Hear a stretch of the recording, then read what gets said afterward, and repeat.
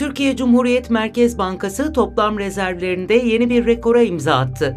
25 Ekim haftasında Türkiye Cumhuriyet Merkez Bankası'nın toplam rezervleri bir önceki haftaya göre 33 milyon dolar artış göstererek 159 milyar 398 milyon dolara ulaştı. Bu rakam Merkez Bankası tarihindeki en yüksek seviyeyi temsil ediyor. Türkiye Cumhuriyet Merkez Bankası'nın açıkladığı haftalık para ve banka istatistiklerine göre 25 Ekim itibarıyla brüt döviz rezervleri 287,5 milyon dolar azalışla 93 milyar 504 milyon dolara geriledi. Bu rezervler 18 Ekim'de 93 milyar 791 milyon dolar seviyesindeydi. Diğer yandan altın rezervleri ise 320,8 milyon dolar artış göstererek 65 milyar 574 milyon dolardan 65 milyar 894 milyon dolara yükseldi.